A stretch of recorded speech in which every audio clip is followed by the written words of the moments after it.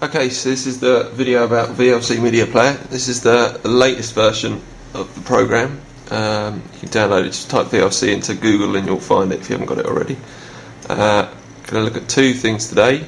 Uh, first of all is the, the dual screen thing. So you need to go to Tools and then down the bottom you've got Preferences. Click in there and you'll get this box comes up. What you want to do first of all is click down the bottom right hand left hand corner. It says all. Click that box. And you'll see it changes and I'll zoom in for this bit here.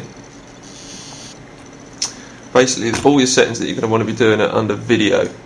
So just expand that bit there. And you've got filters. Expand that as well. And the option you're looking for is where's it gone? Image wall. Click on that. And you'll come over here. And this is the settings I use for it once you're in there.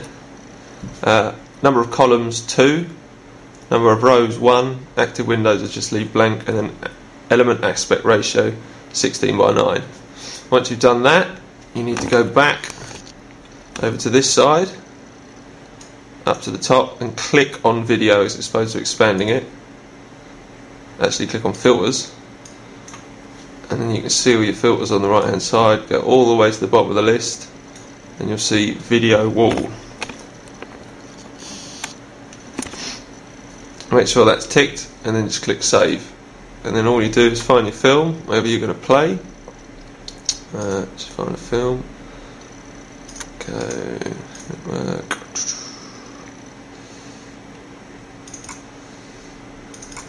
movies. And, uh, and just double click the film and it will start up you see you'll have two windows.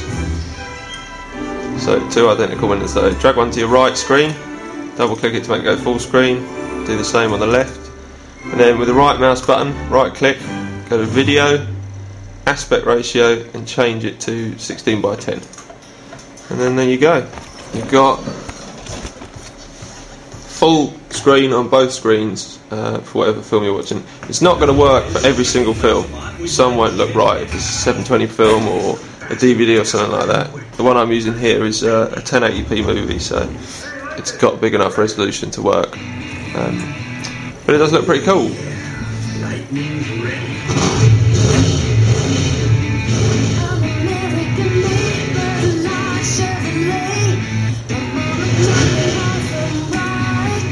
So yeah, that's that. Uh, next, we're going to have a look at um, TV streaming, which you can do uh, through VLC as well. So I'll do that in just a second. Alright, we're going to look at uh, streaming of TV channels now um, using VLC. You need to open up your VLC and go to Playlist, Additional Sources, and you'll see a list of things in here. It might be different depending on what country you're in. Uh, but the one that I'm using or have been using is Shoutcast TV listings. Click that, then go back to playlist, and then click on Show Playlist. And you get this big box opens up, and at the top it should say Shoutcast TV. Click on that. Depending on how good your internet connection is, it might take a while to come up. But then you'll get a list of all the free channels that you can stream through VLC. Now this is dependent on how good your internet is. So if you've got good broadband, then you should be fine. If you've got crap broadband like me, it might not work every time. Uh, and then you basically go through, pick a channel. There's loads of stuff on here. It's HBO, HD movies. Just double click the one you want to try and see.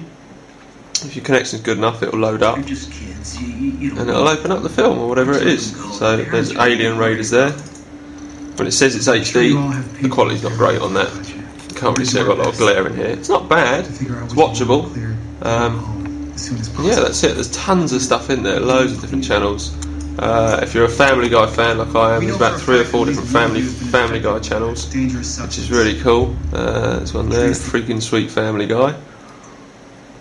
Uh, they're normally just running 24/7, which is great.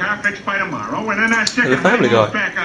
So that's it. There's a lot of other stuff that you can do in there, but those are the main things I use: the dual screen setup and uh, and the streaming. So um, I hope that's helped you out, guys. Got any questions? Just post them at the bottom. I'll see if I can help you out.